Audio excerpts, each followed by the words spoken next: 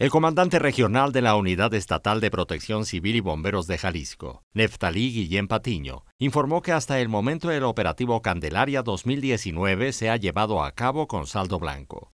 Comentó que se está trabajando en coordinación con los estados vecinos de Jalisco, que son de los principales proveedores de peregrinos hacia el municipio de San Juan de los Lagos. A partir del 18 de este mes iniciamos con la primera fase, el día de hoy estamos trabajando en la segunda fase y pues prácticamente hemos tenido una muy importante eh, afluencia de personas principalmente del estado de Guanajuato y del estado de Aguascalientes. El comandante añadió que se han monitoreado los contingentes de peregrinaciones organizadas y las principales caravanas, que desde el pasado 18 de enero se tiene un aproximado de 140 mil visitantes.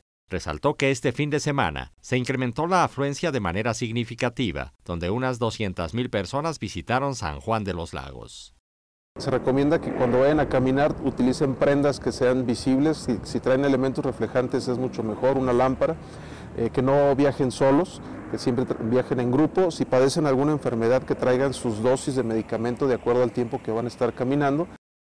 El comandante recomendó a los peregrinos cargar siempre con su gafete de adición al servicio médico al cual están adscritos y evitar automedicarse, pues se han atendido algunos casos de personas con intoxicación por medicamentos sin prescripción médica.